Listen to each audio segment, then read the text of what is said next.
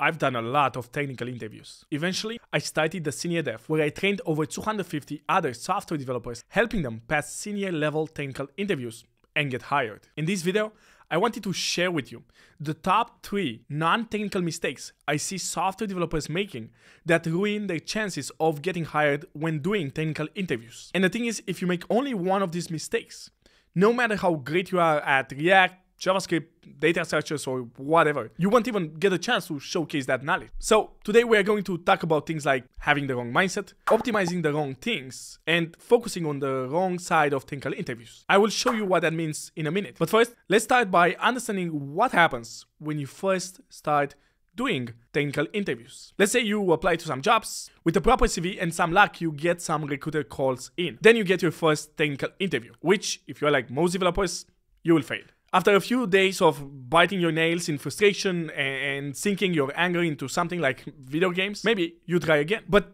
every time this cycle repeats, you find yourself less and less motivated. Maybe you get to a point where you even want to quit. And I don't mean quit writing code, but say something like, hey, you know, I'll take a month and study more and then maybe do another technical interview. Or hey, I'll go back to this job and stick in and forget about changing jobs to something better.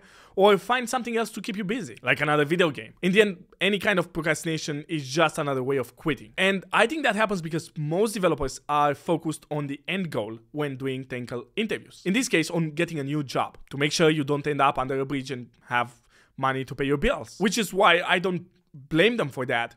In the end, that's why you are in the job market. That's why you learn how to code. But the problem with this mindset is that it frames everything into a win-lose situation. When you pass an interview, you get closer to winning, but when you fail, you are farther away. And that kind of thinking kind of messes up you with your emotions. Because every email, every call, every technical test becomes this life and death situation where you are hanging on that last life signal, which burns you out, and of course you end up quitting because it's too emotionally exhausting. A better way to frame that is to put your focus on a long-term goal. Let's say in the next five years, you want to become a senior engineer or a staff engineer. And the job you want to get now is just one step towards that greater goal. Because your goal is now a long-term goal, you won't get bothered by the little obstacles on the way. Failing a take-home challenge or a technical interview, it's not a catastrophic failure. It's just learning that will get you closer to your goal. What's actually happening here is that now you are emotionally detach from the outcome. Sure, you will still get angry from time to time when you fail a technical interview. And if that still happens, I want you to remember this. What is anger? Anger is just energy to solve a problem. And the key is to use that energy productively, not to put it into video games, but keep improving your skills until you win the game. And a little rule we made up with our mentees, it's every time you get rejected, you go out and you apply to five more jobs. So you channel that energy into something productive. Which brings me to the second lesson of today, optimization. So when you get into this job search mode, you start optimizing things. Now you tweak your resume, your LinkedIn profile, then some new shiny object pops up during the interview process, like a new React hook or why not Kubernetes and you decide to jump in and just learn that. And while it's okay to iterate and improve, if you change too many things at the same time and you jump around, it's going to be very hard to understand what worked and what didn't. So you even end up more confused. So my advice here is not to change things too fast. Wait until you have more data. Before changing your resume,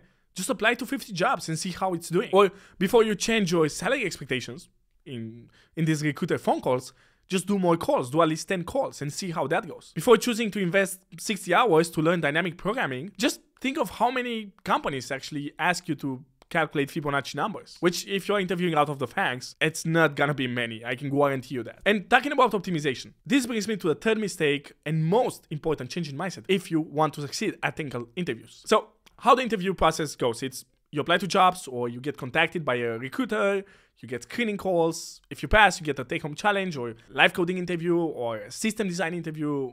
And finally, a culture fit interview and an offer negotiation at the end. I mean, there is variation in this process depending on the company, but Usually that's how it goes. And if you think about it, it's a very linear process. And as I mentioned, you will most likely not pass your first technical interviews unless you're some kind of genius programmer, which most of us are not. You know, maybe you get nervous or just you have a bad day. And it's okay, you're just warming up, you're just getting started. But it's not okay if that's the only technical interview you had this month because then you just messed up your only chance to get hired. Of course, you are angry and of course it's gonna bring you down. Which means that you need to first get extremely good at getting technical interviews before you try to get good at passing technical interviews. Because having more companies talking to you will also allow you to relax during the technical interview process. So you should pay way more attention to your CV and your performance during recruiter calls before you get the technical interviews. Because if you get good at that, you will have more hands to play. You will get good at technical interviews and you will get one of those software engineering jobs that TikTokers brag about. Or at least a nice job. Finally, if you're interviewing right now, I wish you the best of luck and I'll see you in the next one.